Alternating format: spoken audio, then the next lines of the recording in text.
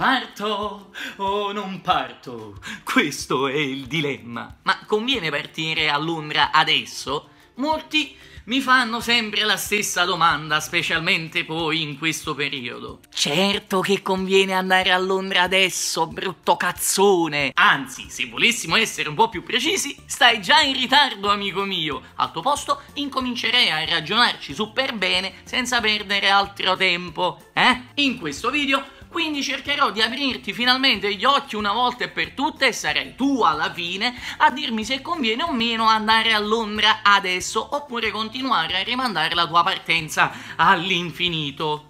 Sigla.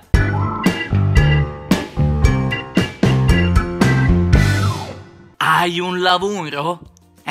Se non hai un lavoro, solo questa risposta che hai appena dato dovrebbe farti alzare da quella sedia, brutto ciccione pantofolaio che non sia altro, fare le valigie e prendere il primo aereo per Londra. Qui chiunque ha una possibilità, non importa quanti anni hai o se hai più o meno esperienza nel settore, bla bla bla. A Londra chi vuole lavorare ma solo chi vuole lavorare davvero lavora subito. Ovviamente c'è bisogno di flessibilità, è, è, logico, ed un minimo di furbizia che non guasta mai. Ma credimi, amico mio, 5 passi fai e 5 lavori trovi a Londra. Lavori a nero o sei sottopagato? Non ci sono scuse. Se ti lamenti della tua posizione lavorativa perché sottopagata e magari anche a nero e non fai nulla per cambiare la tua situazione, allora anche tu sei con causa della tua vita di merda merda. A Londra funziona così. Trial shift, che sarebbe il turno di prova ed è anche retribuito. Assunzione a tempo determinato della durata di tre mesi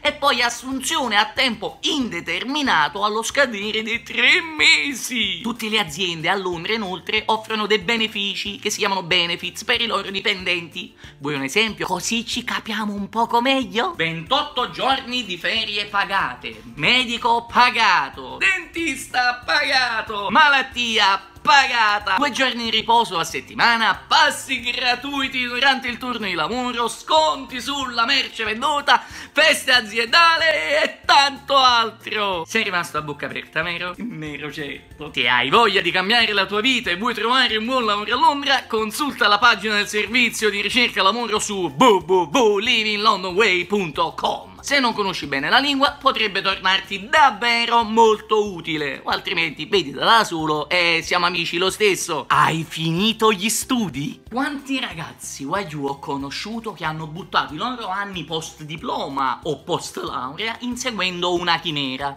Una fantasia in due cervelli. Sempre convinti di riuscire a fare la differenza, ostinati e speranzosi di ottenere un posto di lavoro dignitoso e di non essere sfruttati. Mm, in Italia. Tutti, e dico tutti, dopo qualche anno passato tra uno stage non retribuito e qualche lavoretto saltuario, li ho visti poi prendere la decisione di partire alla volta del Regno Unito. Eh, perché quindi buttare anni interi nel nulla più totale? Se queste persone fossero partite appena terminati gli studi, a quest'ora avrebbero così tanta esperienza lavorativa alle spalle che probabilmente, dico probabilmente, eh, ora si sarebbero potuti candidare per posizioni lavorative manageriali e non pulire i classici cessi. Purtroppo, invece c'è chi perde tempo. Ma chi perde tempo nella vita poi prima o poi lo acchiappa a quel servizio. Ti conviene quindi stare lì con le mani in mano attendendo un lavoro che mai arriverà? Su dai, dai ti prego, ti prego, muoio dalla voglia! Alla luce di quanto detto, conviene andare a Londra adesso? Ciao!